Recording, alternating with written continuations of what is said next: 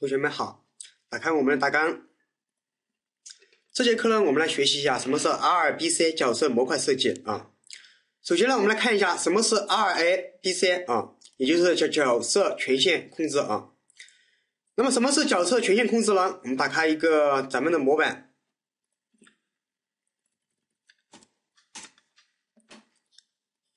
咱们的前端框架啊。好，看一下啊。走到管理员管理这里，它有三个列表，第一个是角色管理，第二个是权限管理，第三个是管理员管理。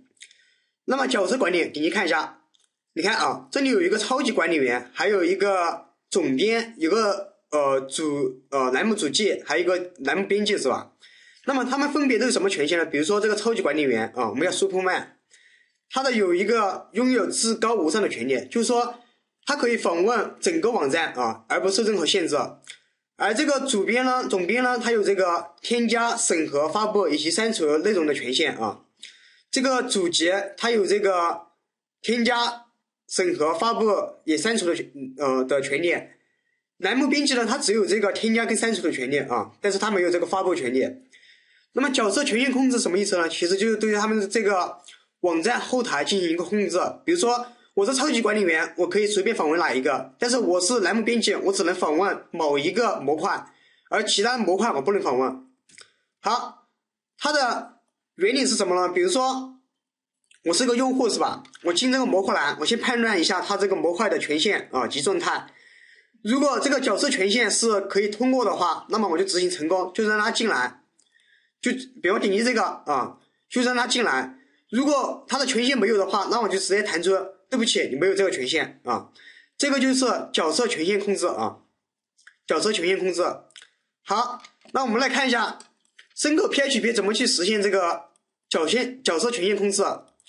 最原来的话，咱们有有一共有两种方法啊，都是这个 TP 框架咱给咱们封装好的。因为这个我们程序员有一句话叫做不要重复发明轮子，是吧？第一个就是深刻。PHP 帮咱们帮助咱们封装好的验证啊，角色全是全色验证类啊，有一个叫 RABC 类啊，还有一个叫呃 AS 这个类啊，AUTH 类。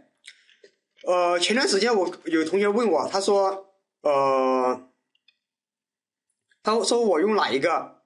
我跟他说的时候，我用的是，你打开啊，打开咱们代码，找一下，这里有一个深刻 PHP 啊，然后有一个扩展，因为我我已经提前下下了扩展是吧？org 里面有一个叫 RBAC 是吧？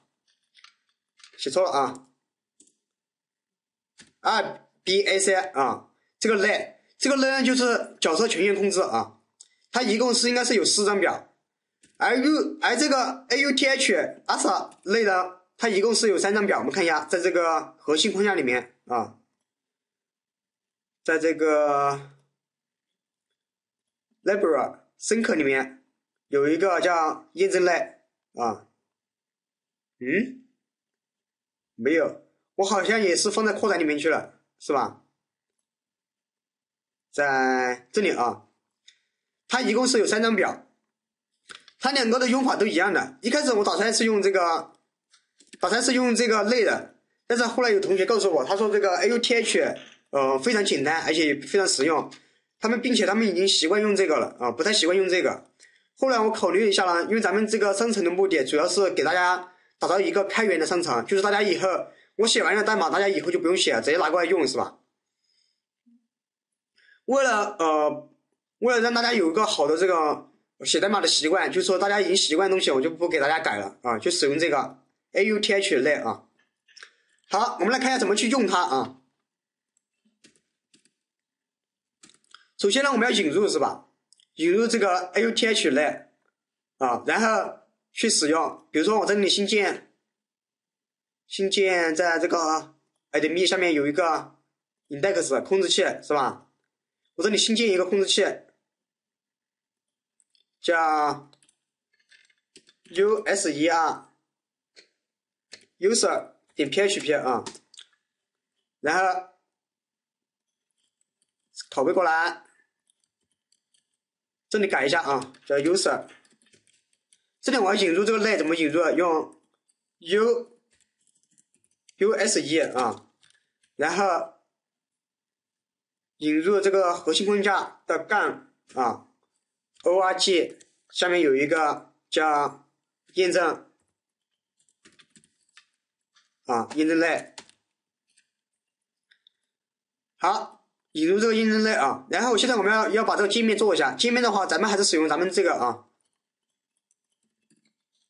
三 w 六点 tp 五点啊，这个类啊，就使用这个啊。然后表的话，我也给大家提前准备好了啊。一共咱们一共要创建这个四张表，一个是这个权限控制规则表是吧？一个是用户组表，还有一个是用户组明细表，最后一个是管理员表啊。咱们来创建一下。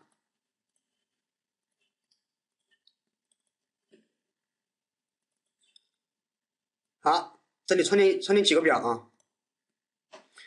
新建表的话，咱们不需要这样去写啊，因为什么呢？因为它这个代码里面其实已经给咱们这个准备好了。你看，深刻里面扩展，前面这个啊，它已经给咱们准备好这个表了，咱们直接拷贝过来。这段意思，呃，drop table 这什么意思呢？这个是判断这个表存不存在，如果存在的话，就把它删除了，再重新创建啊。所以直接咱们直接把它拿过来。查询啊，查询，咱们把它表名改一下啊，就直接这个啊，好，运行，好，运行成功啊，再来一个，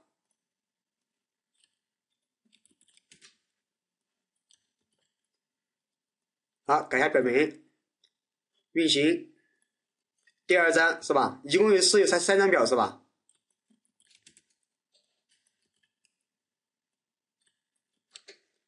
好，运行啊，然后还有一张表是咱们这个管理员表啊，你看，嗯，这里刚才把这名字放上去了是吧？去改一下啊，再创建一个表，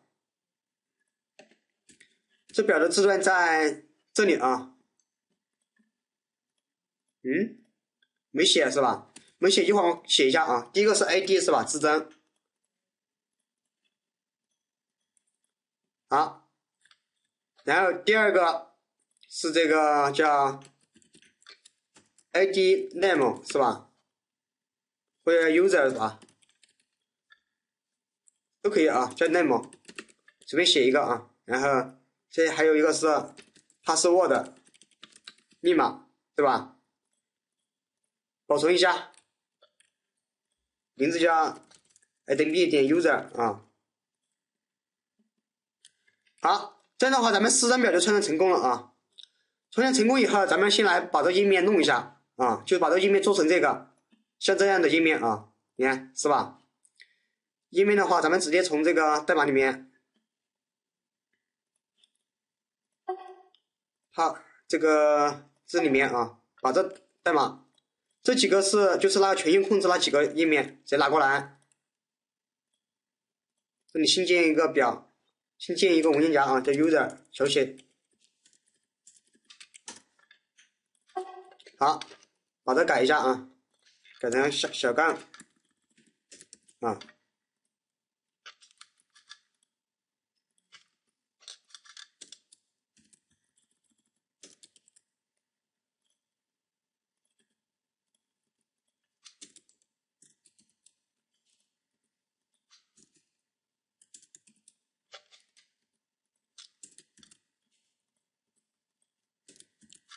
好，改完以后我们看一下，刷新一下啊。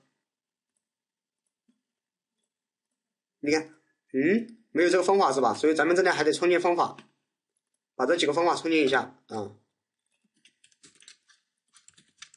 public 里面的这几个方法，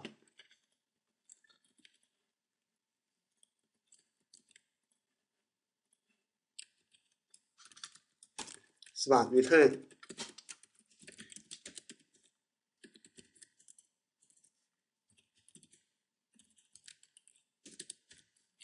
把，拷贝下来，五个啊。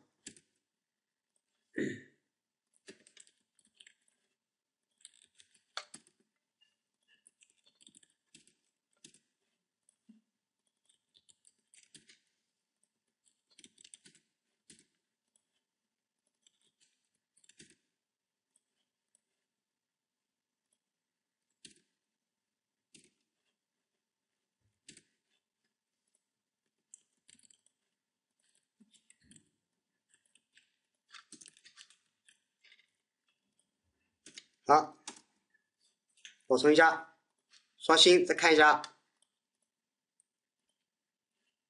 又在调用这个类，语法有错误是吧？嗯，我们看一下哪里写错了啊？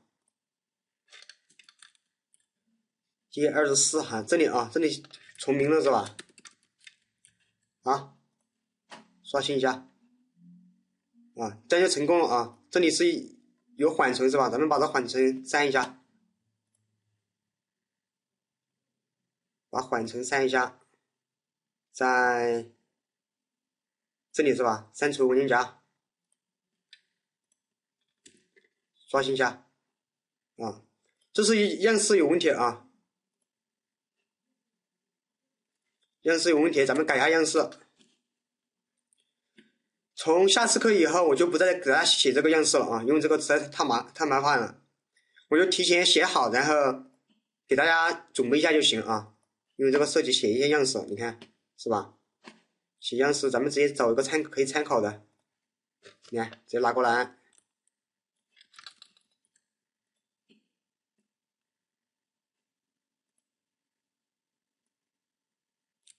粘贴一下。嗯，直接这样，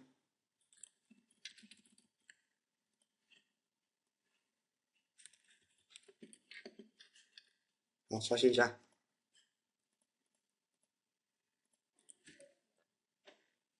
还有个解释是吧？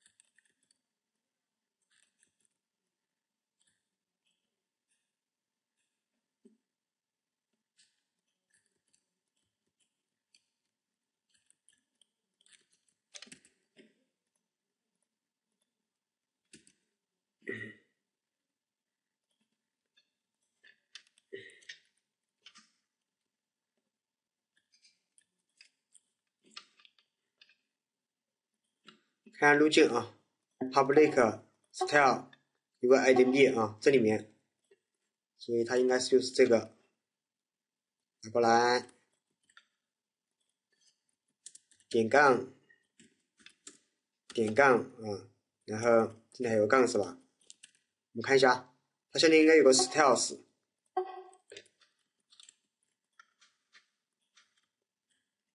好，翻过来。好，改一下，下面这个 CSS 应该是在这个 label 里这里面，所以我们路径改一下啊，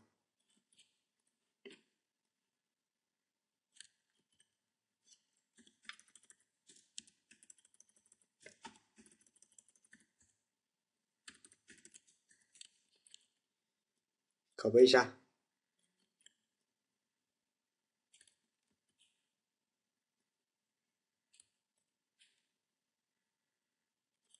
Library 里面不知道有没应该没有吧？啊，所以这应该是在上面这个。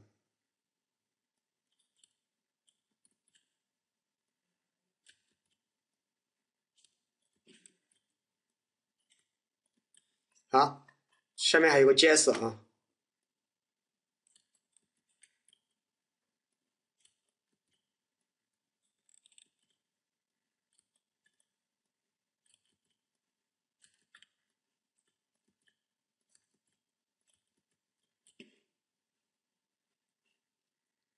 刷新一下，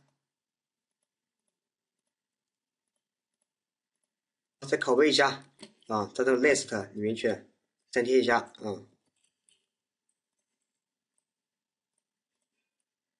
嗯，它这里报错是吧？列表报错是这个原因啊，把它去掉，